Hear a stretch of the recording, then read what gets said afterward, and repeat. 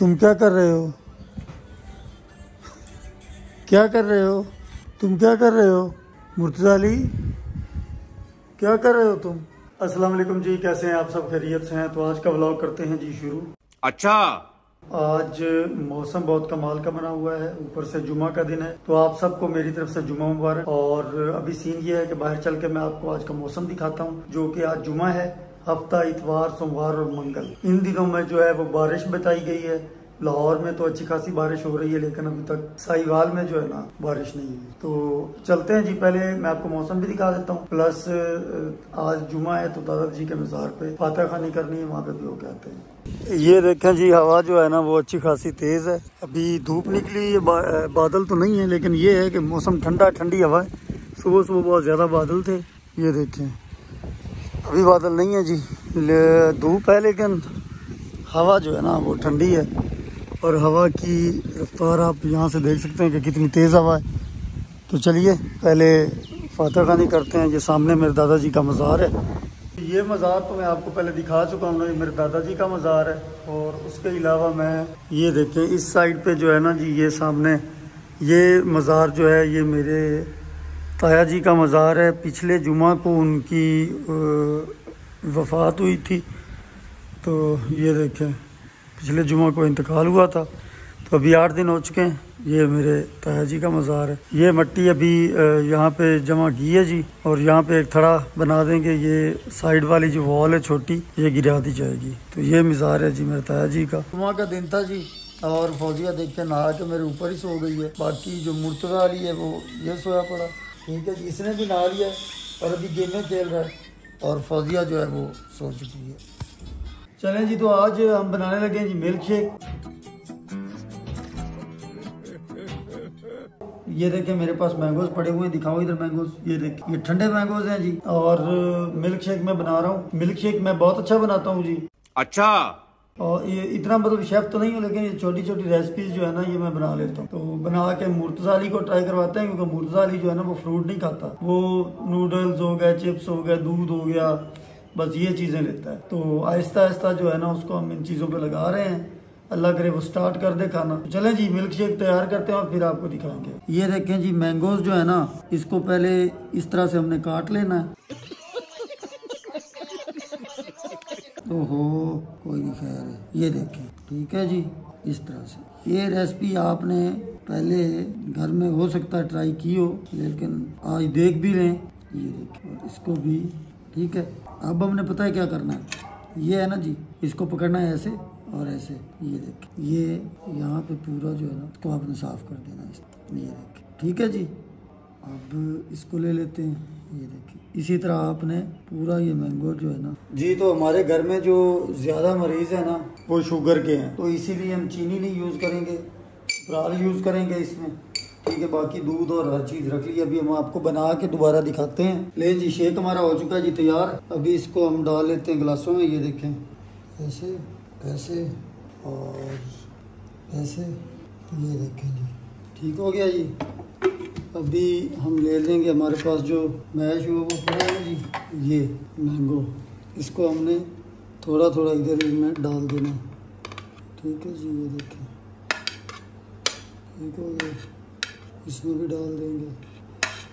ये बना जी कमाल का शेक। ठीक है जी। चलें जी, बन गया जी। अब मुर्तज़ा अली पीता है कि नहीं पीता, लेकिन हम तो पियेंगे। वैसे आपको बताऊँ, ये बताया हमने अपने लिए कौन है ये लोग? कहाँ से आते हैं मुर्तज़ा अली को किसने देना था? वो तो पीता ही नहीं है हमने पीना है। ये देखें जी बादल जो हैं वो आ चुके हैं सुबह नहीं थे। अभी शाम के टाइम जो है वो बादल आ चुके हैं। बस अल्लाह करे अब बारिश हो जाए। ये देखें जी बारिश जो है ना बड़ी तेज़ बारिश आ चुकी है। सुबह मैं आपको बता रहा था ये देखें।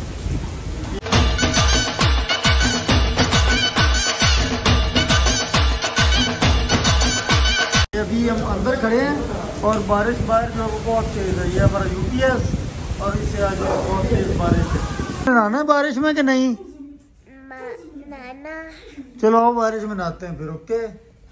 हमारे गाँव में जो है ना बहुत तेज़ बारिश हो रही है और शुक्र है अल्लाह पाक का कि काफ़ी दिनों के बाद बारिश हुई है और गर्मी बहुत ज़्यादा थी, इससे गर्मी जो है वो कुछ कम होगी। तो लोग जो हैं वो मतलब खुशहाल होंगे। जब भी बारिश होती है ना जी, इससे ये होता है कि जिन्होंने अपनी फ़सलों को पानी लगाना होता है या जो ट्यूबवेल चलते हैं बिजली पे और बिजली आती नहीं है, आपको पता तो उनके लिए ये है कि पानी भी उनको मिल गया।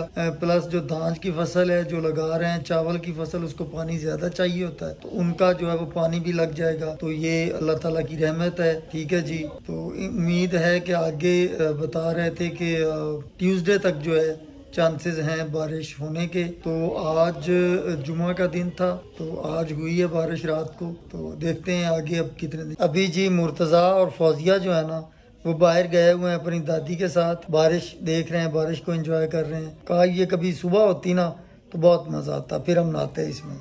अभी जी फौजिया मेरे साथ आई है, ये देखे फौजिया। और बारिश हो रही है, ये देखें। गाड़ी भी हमारी भीग चुकी है। अभी हम बाहर खड़े हैं जी। बंदे चेंज हो चुके हैं जी। अभी मेरे साथ आ चुका जी मुर्तजा अली इधर देखो ज़रा कैमरे में देखो। बाय बाय करो। ये देखे जी मुर्तजा अली बाहर इंजॉय कर रहा है अभी। बारिश में नहाना तूने कि नहीं? नाना नहीं अभी नहीं नहाना मुर्तजा तो जी तैयार है बिल्कुल नहाने के लिए लेकिन इसने नहाना नहीं है। अभी जी रात के बज चुके हैं जी बारह और लाइट जो है ना जब बारिश आई थी तब से लाइट गई हुई है अभी तक लाइट जो है ना बने तो साला ये दुख का खत्म नहीं होता बे। तो गाँव का ये हिसाब होता है एक दफ़ा लाइट चली जाती है ना जब थोड़ी सी बारिश आने लगे तो लाइट चली जाती है तो फिर लाइट का आना बहुत मुश्किल है। मतलब के तकरीबन तीन चार घंटे लाइट जो है ना बनी है। तो हमारे पास अभी तक जो है यूपीएस चल रहा है अब देखते हैं वो कब तक चलता है लेकिन अभी तक सीन ये है कि लाइट नहीं आई। अभी जी रात का एक एक बज चुका है जी एक बज के बीस मिनट हो चुके हैं और लाइट अभी आई है। एसी हमने ऑन कर दिया ताकि रूम थोड़ा सा ठंडा हो जाए क्योंकि इसका कोई एतबार नहीं ये कभी भी जा सकती है। कंट्रोल कंट्रोल उदय और आज का व्लॉग जी इतना ही था। इंशाल्लाह कल आपसे मुलाकात होगी एक नए व्लॉग के साथ। तब तक के लिए दीजिए इजाज़त। Bye bye tata goodbye गया और दुआ कीजिएगा कि बारिश जो है वो दो तीन दिन तक हो जाए ताकि हर चीज़ जो है ना फ्रेश हो जाए। इस बंदे को जी पता नहीं रात को क्या हो जाता है इसमें कोई जिन आ जाता है। ये रात को चार्ज हो जाता है और चार बजे जाके सोता है। क्या मसला है तुम्हारा? तुम लेट क्यों सोते हो?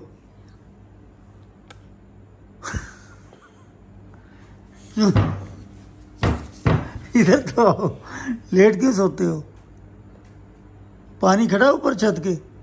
छत के ऊपर पानी देखा तुमने? देखा है? पानी देखा। वो किस चीज़ का पानी है? ब्राउन पट्टी ब्राउन पट्टी ब्राउन पोटी है? पानी है पानी है। क्या है? इधर मुझे तो बताओ क्या है? पानी है ऊपर पानी है।